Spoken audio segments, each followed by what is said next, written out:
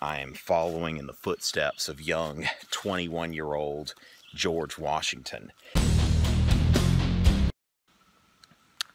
Shh.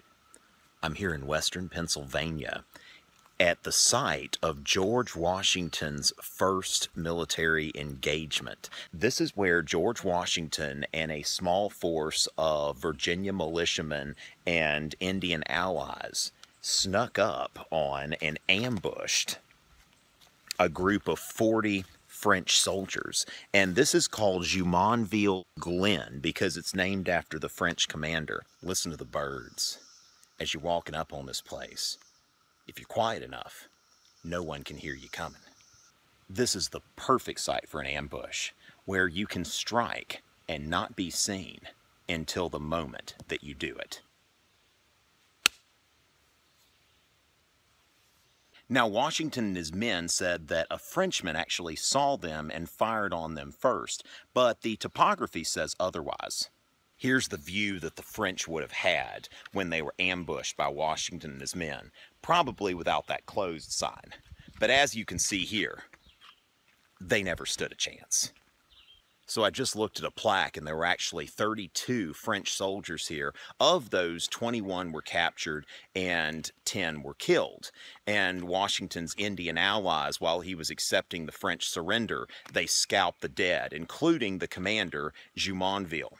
And there was one Frenchman who escaped, and he told the French what happened.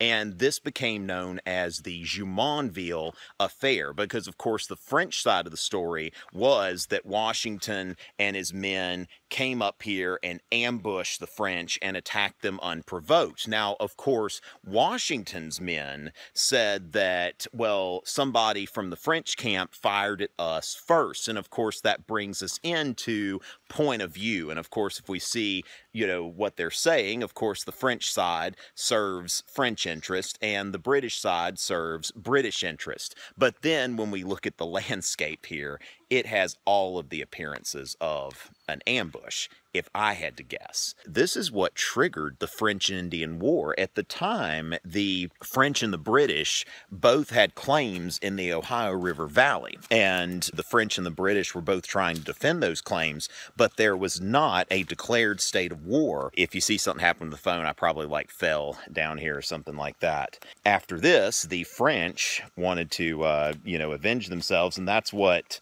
led to the encounter between the French and Washington at Fort Necessity, which was also before the French and the British declared war.